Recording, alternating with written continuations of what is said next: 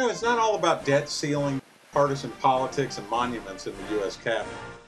World class art institutions as well. And that was the focus of Janet and my vacation in April uh, to see the art in D.C.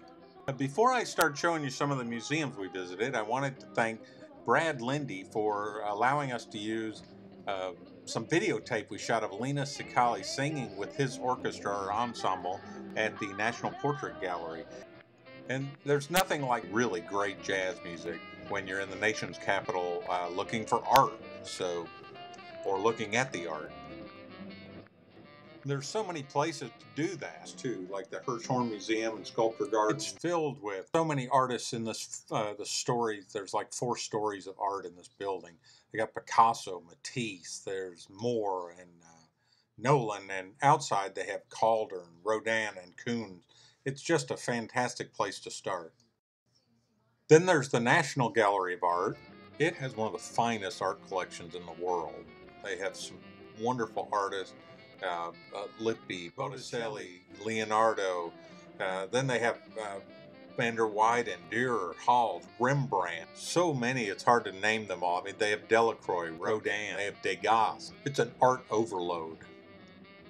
And then there's the Corcoran Gallery of Art, and its focus is American art. They have a lot of permanent collection from Rembrandt, Picasso, Hopper, Kooning. I love that the Corcoran's mission is to be, quote, dedicated to art and used solely for the purpose of encouraging the American genius.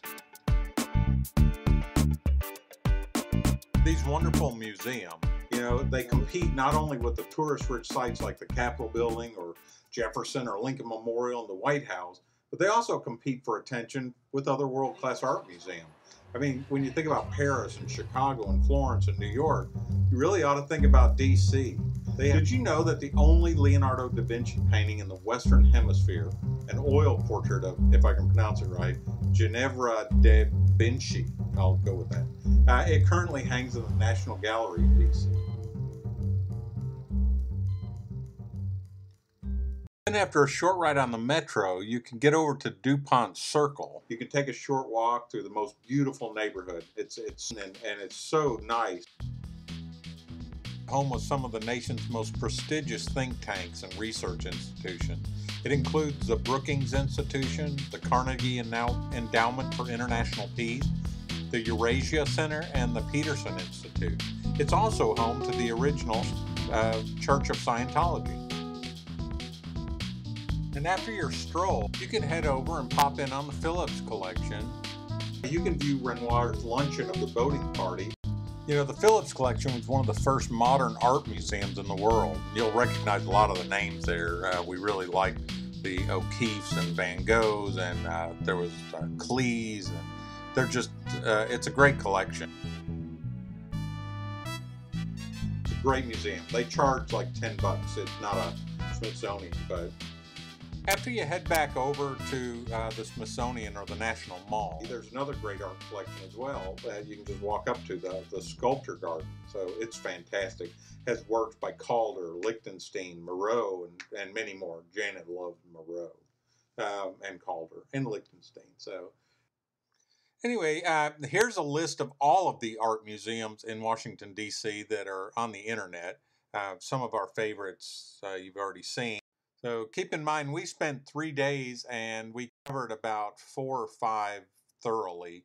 Uh, one that I didn't see on the list was the Renwick Gallery, which was also cool. So uh, I hope this helps any art lovers out there uh, figure out where they may want to go when you've overdosed on great masters, we highly recommend heading down to the National Gallery of Art's Museum's Cascade Cafe. It's over in the East Building Concourse. It has a great waterfall you can watch while you eat. Uh, it has skylight pyramids in the ceiling that kind of allow you to see people walking by or you can look down in it. Um, it also has this really cool moving sidewalk filled with light. It empties into uh, the gift shop and stuff, so it's really great.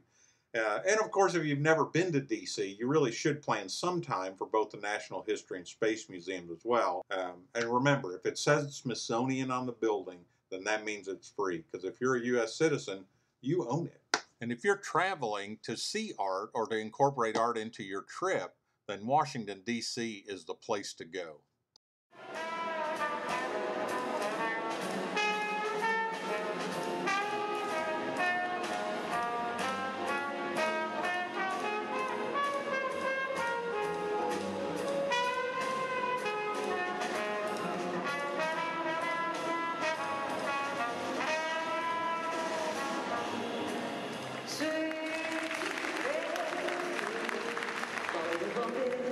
I've been going.